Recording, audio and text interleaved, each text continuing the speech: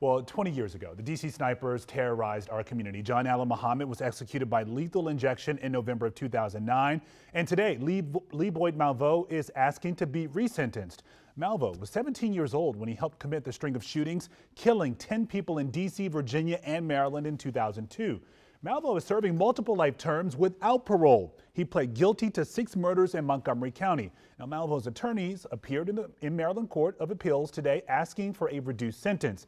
They argue his life without parole sentence is unconstitutional based on a 2012 Supreme Court ruling that banned them for juveniles. Well, the state wants the court to deny Malvo's request, partly because of the seriousness of his crimes.